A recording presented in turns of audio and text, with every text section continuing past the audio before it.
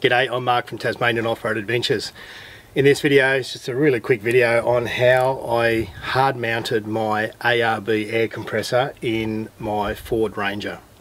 Now there is a little bit of a backstory to this because the ARB compressor that I now have in there is not the original one that I fitted. I actually fitted a Thumper Max compressor that I had from one of my old air compressor tests. I put that in there and short story, without going into it too much, it died. Uh, so I've now tossed it and uh, after doing that monster, well a couple of monster air compressor tests now, I went out and bought the ARB single compressor and that's what I've mounted in here now. So once I chose to go with the ARB compressor, I went down to ARB and I was just going to buy the, the loose one, you know, ready for the lockers that, you know, just the actual compressor itself. And then Woody uh, who's the manager down there at ARB Launceston, uh, pointed out to me that I was better off buying the this one, the portable compressor, uh, because it's already got the wiring loom in it and it's already got the pressure switch uh, and it's basically ready to go. Uh, comes with all the hose and everything. So all I had to do was I purchased that. There's four rivets that hold the compressor into this box. Drilled out the rivets, rivets, took the compressor out. The box is sitting in the shed. It'll come in handy for something one day. Uh, and then it was all ready to do. All I've literally done is drill those rivets out and in place put four stainless steel bolts, bolted it inside the box through the guard and voila, I'm ready to go. So I'll just show you that now. I've got, open that up. It's going to be a bit hard to see so I won't go into too many details but it's an ARB compressor. Keep all my, my hose and fittings and gun and gauge and everything in this bag. It's really easy to, to handle when it's all together like that down there. The only other thing I've done is I took off the alligator clips on the end and I've put on uh, this 50 amp Anderson plug. Now you're not going to be able to see it and I'm not going to bother showing you because it's not that exciting. But I've installed an Anderson plug around where my trailer plug is. Um, for two reasons. One is to hook up the camper trailer to charge the battery in that when I use that. The other one is to use this for the compressor that is. So all I need to do is drag this around here plug it into my 50 amp Anderson plug and if I turn that on I get my compressor all fired up. Now I'm just going to actually unplug that in case it comes on again. So that's all very straightforward. Now um, reasons as you'd why you'd hard mount it because uh, it's just quicker and it's easier. Uh, when I've done the compressor tests uh, I test how long compressors take to pump up tyres but then someone commented and pointed out but you know, if you take it out of the bag and then you've got to pack it up again, you're adding a couple of minutes onto the test, so which is a very valid point. But it's just easy and convenient, and I just like it. I like the fact I can just unplug it, or not unplug it, open the door, plug it into the Anderson plug, pump them up, unplug it, then I'm done. No packing away into a bag. Compressors can get pretty hot as well, so I don't have to touch the compressor.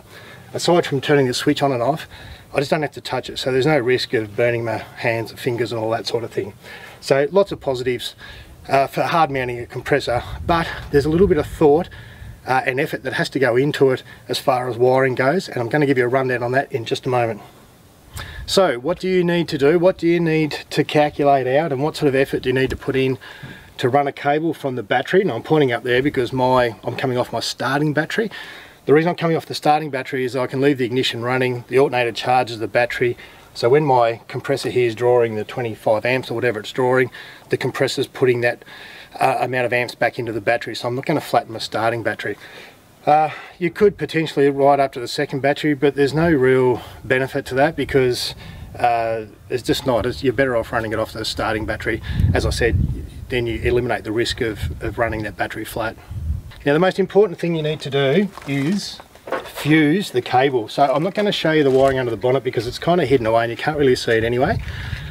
But you need to fuse it. Even though there's a fuse on the ARB compressor here, I'm still fusing as close to the battery as I can. So if something goes wrong on that cable between the battery and the compressor, I'm protected. Well, the wiring's protected and the vehicle's protected. So what I'm using is a MIDI fuse. So not sure how well you're going to be able to see that, but that's called a MIDI fuse, M-I-D-I, MIDI fuse and it fits in a holder like that. My mate Jamie Hazelden, who owns Jamie's Touring Solutions, which used to be Jamie's 12 volt shop, he put me onto these. But these are a really, really essential item if you're running dual battery systems and stuff like that and putting a compressor into a car. So the ARB compressor pulls somewhere around 23 amps. Uh, I've got a 40 amp fuse up there. It does have its own fuse here. Actually, I'm gonna, I've totally forgotten what that is, so I'm just gonna check. That's a 40 amp fuse as well. So I've got two 40 amp fuses. As I said, if something was to go wrong with the wiring, between the battery and here, I'm fully protected. So that's the first thing, make sure you get your fusing right. Number one, use a fuse. Number two, get the fuse right. Now, second thing, this is really critical, is cable size.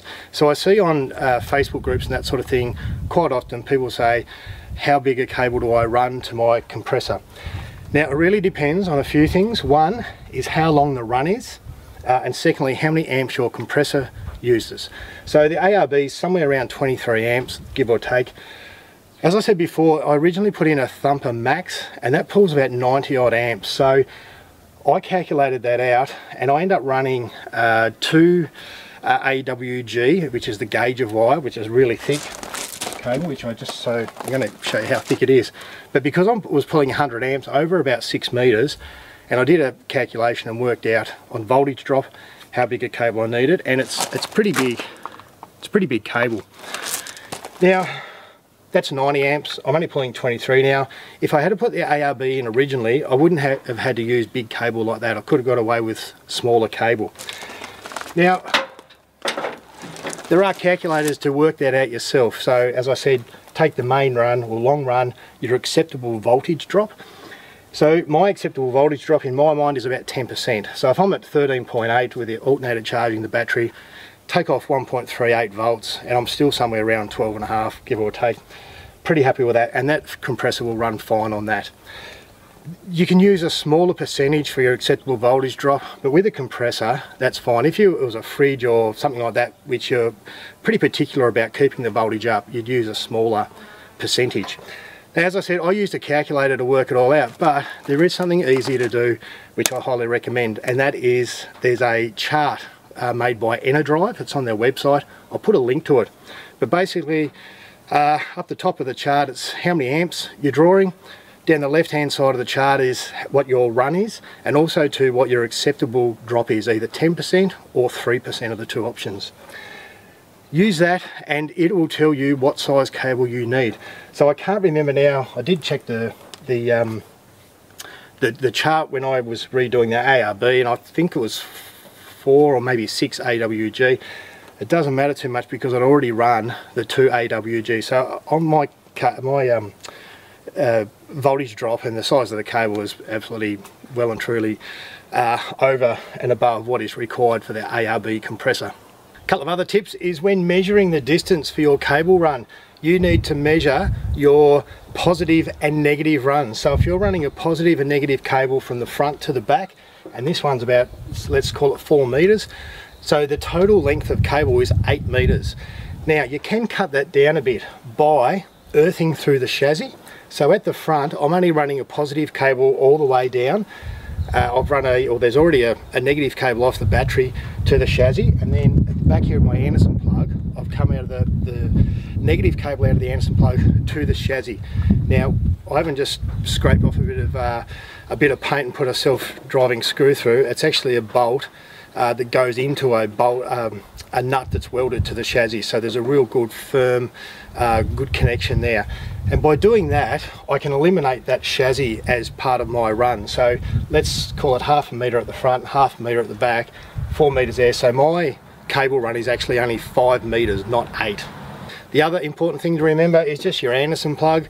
Uh, I had a 120 amp plug on for the Thumper Max, uh, which is fine.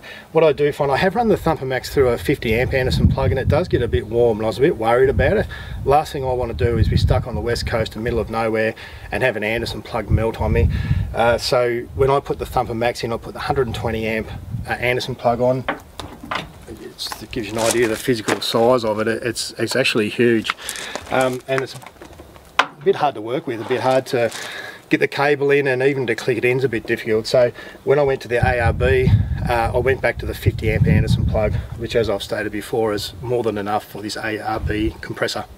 So in a nutshell, if you do use that Enerdrive chart, you can't go wrong. Now, what happens if you do get it wrong? A few things. There's this thing called Ohm's law, and I'm going to, going to give you a real, real basic rundown on Ohm's law. And if you're interested at all, Google it and you'll find out a lot more about it. But what Ohm's law says is, if you have resistance, or the higher the resistance you have, the less, less voltage you'll have and the more current you'll have. So what that means is if you run a, a cable too small, you'll have resistance. You'll have voltage drop and your amp draw will actually increase. So I said the ARB is 23 amp, but if you run your cable too small and your voltage drops off, the amp draw is actually going to rise. You, then you've got the chance of blowing fuses and worse, uh, chance of actually burning through that cable, melting it. So it can have some pretty catastrophic effects. So don't get it wrong. Follow the Enerdrive chart and as I said before, you just cannot go wrong with it. So that's it in a nutshell. It's not an overly technical how to install a, a, compressor, but it's more just pointing out a couple of things, bit of research that you need to do just to make sure you get it done properly because it is a really handy, really convenient thing to do. Hope this video sort of helped you a little bit, at least pointed you in the right direction to go and do a bit more research and just find out uh, how to do it on your rig. As per usual, all the regular things like subscribe, uh, and I'll see you on the next video. Thanks for watching.